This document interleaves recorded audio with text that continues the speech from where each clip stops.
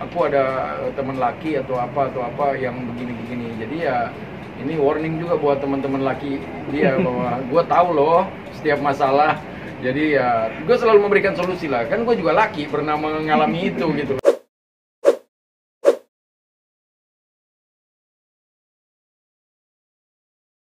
Ini kan makin banyak remaja nih. Hmm. Gimana Mas Adam nih?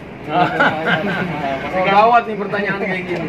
Ya enggak lah, enggak, enggak akan aku persulit hidupnya. Aku bapak yang enak kok. Tanya aja sama dia.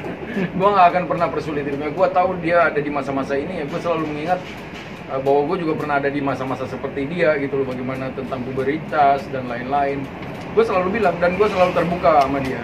Jadi dia juga nggak pernah ada yang dia filter dari omongannya ke aku. Kadang dia juga suka curhat ayah. Aku ada teman laki atau apa atau apa yang begini-begini. Jadi ya ini warning juga buat teman-teman laki dia bahwa gue tahu loh setiap masalah. Jadi ya gue selalu memberikan solusi lah. Kan gue juga laki pernah mengalami itu gitu loh. Bagaimana lu memilih pasangan eh, teman laki gitu loh. Karena gue masih menganggap bukan eh, it's not pacar tapi lebih ke boyfriend lah bahwa lu juga bisa berteman dengan laki nggak mungkin.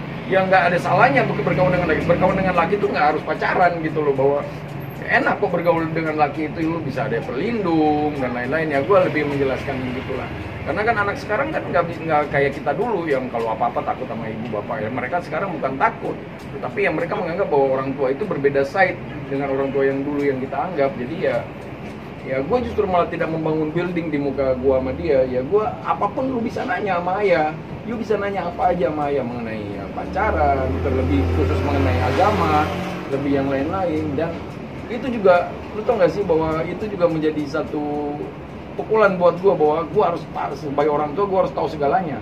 Terutama tentang akidah ter- terutama tentang agama. Pada akhirnya gue juga ada hal-hal yang tadinya gue nggak tahu pada akhirnya gue belajar untuk membaca biar gue nggak salah salah mengarahkan nih kayak mulai mulai dari sholat mulai dari eh, apalagi tentang eh, tentang Rasulullah nah mereka kan selalu bertanya jadi setiap habis sholat maghrib ya gue selalu ngumpulin tuh bertiga kan gue ada anak perempuan gue kan anaknya perempuan tuh bertiga di sholat maghrib bareng kita ya Hah?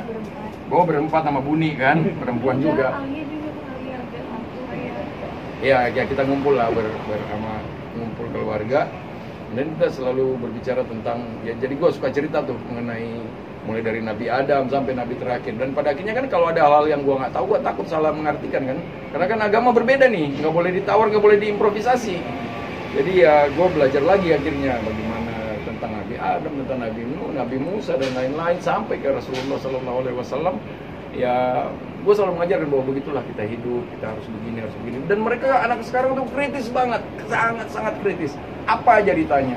Jadi kita harus sebagai orang tua yang hidup eh, mendidik anak sekarang tuh emang benar-benar harus siap dengan pertanyaan-pertanyaan about mulai dari about hubungan antara laki dan perempuan sampai dengan hubungan pertemanan yang yang lebih dalam lagi gitu bertanya langsung bertanya dan ya kita harus siap dengan jawaban. Kita jangan salah menjawab aja jangan sembarang jeplak aja jadi ya saling menutupi lah saling saling kekurangan gue gue lengkapi di sekarang. Kekurangan dia juga insya Allah kita lengkapi bareng-bareng ya kayak gitu